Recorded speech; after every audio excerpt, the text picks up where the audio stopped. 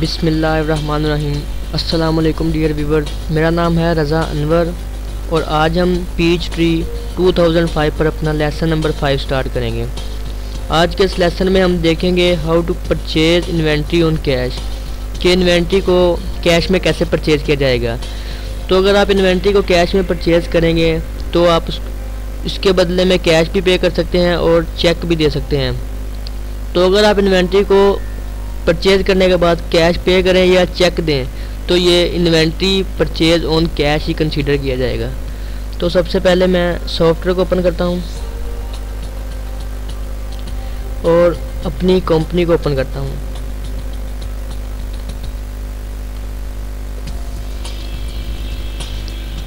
यहाँ पर मैं नेविगेशन एड्स में परचेज पर क्लिक करने के बाद परचेज रिसीव इन्वेंट्री पर क्लिक करूँगा। तो इन्वेंट्री को परचेज़ करने के लिए सबसे पहले मैं वेंडर को सिलेक्ट करूँगा जिससे इन्वेंट्री परचेज़ कर रहे हैं। और इन्वाइस नंबर इन्वाइस नंबर आप यूनिक आईडी देंगे, कोई भी इन्वाइस नंबर दे सकते हैं, एक सीरीज़ में भी रख सकते हैं। तो हर इनवाइस हर इन्वाइस का इन्वाइस नंबर सेम नहीं हो सकता, ये चेंज होगा, नहीं तो इन्वाइस सेव नहीं होगी। मैं इसको इन्वाइस नंबर ज़ीरो वन रख देता हूँ। और यहाँ पर दो ऑप्शन शो और यहाँ ड्रॉप शिफ्ट और वेटिंग ऑन बिल अगर आप ड्रॉप शिप पर क्लिक करेंगे तो यहाँ पर कस्टमर आईडी शो हो जाएगा। यानी कि आप ये जो इन्वेंट्री परचेज कर रहे हैं तो ये डायरेक्ट किस कस्टमर को सेल करेंगे, उस कस्टमर को यहाँ पर सिलेक्ट करेंगे। अगर आप इन्वेंट्री डायरेक्ट कस्टमर को सेल करेंगे तो आप ड्रॉप शिप पर क्लिक कर देंगे। और अगर आप खुद अपने पास रखना चाहते हैं तो इस ड्रॉप शिप को अनचेक कर देंगे। और सेकंड ऑप्शन में वेटिंग ऑन बिल लिखा हुआ है। अभी हमने इन्वेंट्री परचेज कर ली है, लेकिन हमें ये नहीं पता कि ये इन्वेंट्री इसकी पेमेंट कितनी है, कितने रुपीज़ हमने पे करने हैं। तो मैं जैसे ही वेटिंग बिल को अनचेक करूँगा तो यहाँ पर amount paid at purchase show हो रहा है। लेकिन अब इसको मैं चेक करूँगा तो यहाँ पर amount paid at purchase edit नहीं होगा, क्योंकि हमें इसका, इसकी अमाउंट नहीं पता कि हम कितनी अमाउंट पे करेंगे। तो मैं इसको अनचेक करूँगा और यहाँ पर इन्वेंट्री की क्वांटिटी लिखूँगा। फॉर एग्ज़ाम्पल मैं टेन यूनिट्स परचेज कर रहा हूँ इलेक्ट्रिक आयरन के और टू थाउज़ेंड के हिसाब से ये ट्वेंटी थाउज़ेंड बन जाएगा। यहाँ पर मैं अमाउंट पेड एट परचेज में टोटल अमाउंट पे करूँगा क्योंकि हम कैश में परचेज कर रहे हैं। तो जैसे ही इसको मैं सेव करूँगा तो ये मुझसे रेफरेंस नंबर मांगेगा। मैं रेफरेंस नंबर भी ज़ीरो वन लिख देता हूँ। तो हम पहले इन्वेंट्री को परचेज करेंगे कैश में, लेकिन कैश की बजाय चेक पे करेंगे। तो रेफरेंस के नीचे कैश अकाउंट शो हो रहा है। आप इसको ओपन करेंगे तो यहाँ पर डिफरेंस अकाउंट शो हो रहे हैं। तो यहाँ पर जो सेकंड वन चेकिंग अकाउंट ये बेसिकली चेक का अकाउंट है।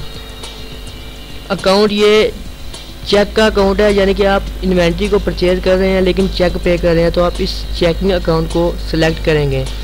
अगर आप इन्वेंट्री को कैश में परचेज कर रहे हैं तो आप कैश ऑन हैंड को सिलेक्ट करेंगे। दोनों अकाउंट कैश के ही हैं, लेकिन कैश पे कर रहे हैं या चेक पे कर रहे हैं, ये आप स्पेसिफाई बताएँगे कि हम चेक पे कर रहे हैं या कैश पे कर रहे हैं। तो यहाँ पर मैं चेकिंग अकाउंट को सिलेक्ट करने के बाद यहाँ पर इसको सेव कर देता हूँ। तो ये देखें, यहाँ पर पेड इन फुल मीन्स हमने इन्वेंट्री कैश में परचेज कर ली है और चेक में पे की है। तो मैं इसको यहाँ पर क्लोज करूँगा। और अब हम इन्वेंट्री को परचेज करेंगे और कैश पे करेंगे। मैं इसी ट्रांजैक्शन को चेक की बजाय कैश में कन्वर्ट करूँगा। तो पहले मैं आपको दिखाता हूँ कि जो इन्वेंट्री हमने कैश में चेक में परचेज की है वो कहाँ पर शो हो रही है? यहाँ पर हम पे रोल में वर्ड चेक्स पर क्लिक करेंगे तो अकाउंट आईडी में हम चेकिंग अकाउंट को सिलेक्ट करेंगे तो हमारे पास वो ट्रांजैक्शन शो हो रही है जो हमने चेक में की थी। यहाँ पर पे में जिस जो आपसे अमाउंट वसूल करेगी, वो कंपनी इधर शो हो रही है उसकी अमाउंट शो हो रही है। तो मैं इसको यहाँ पर क्लोज करूँगा और इसी ट्रांजैक्शन को चेक की बजाय कैश में कन्वर्ट कर देता हूँ। यहाँ पर मैं चेकिंग अकाउंट की बजाय कैश ऑन हैंड को सिलेक्ट कर दूँगा। और इसको सेव कर देते हैं। तो ये ट्रांजैक्शन भी पेड इन फुल ही होगी।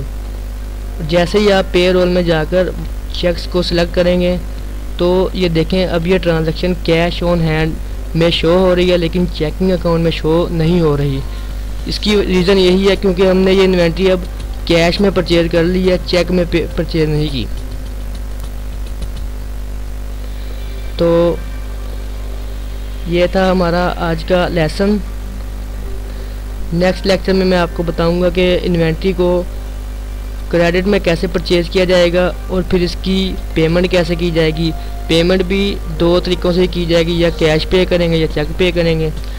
तो तब तक के लिए अपना बहुत सारा ख्याल रखिएगा। अल्लाह हाफिज़।